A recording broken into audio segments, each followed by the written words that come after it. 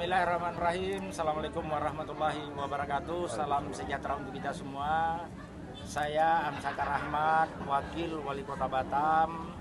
Alhamdulillah malam hari ini diundang untuk memberikan kuliah umum mengenai urgensi public speaking bagi uh, segenap stakeholder di daerah ini di negara ini.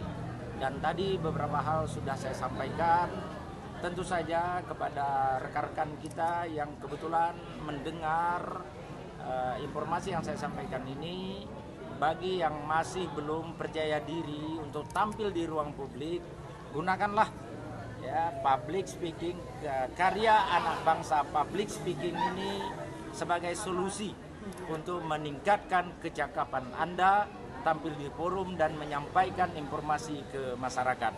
Demikian saya percaya karya anak bangsa pasti akan berkontribusi bagi kota Batam yang kita cintai ini. Terima kasih. Assalamualaikum warahmatullahi wabarakatuh.